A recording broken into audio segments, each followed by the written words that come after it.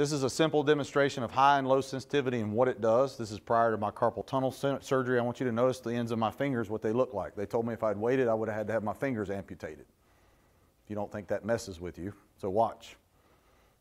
My hand goes over the fire and poof, what happened to my hand other than it's getting warm? Did my hand change temperature really? Do it again. My hand starts off dark, and then when the camera changes to low sensitivity, how does my hand look then? Light.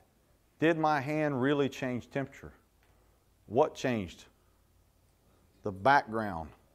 And it went to low sensitivity. How many of you have trained in cold smoke, fake smoke, looking for a heated mannequin or victim?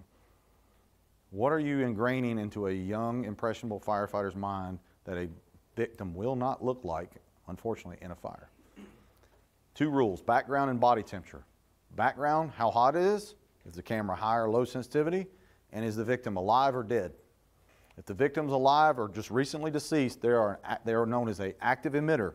Their body's trying to do what naturally? Regulate temperature. So they will show up dark unless they're buried under something.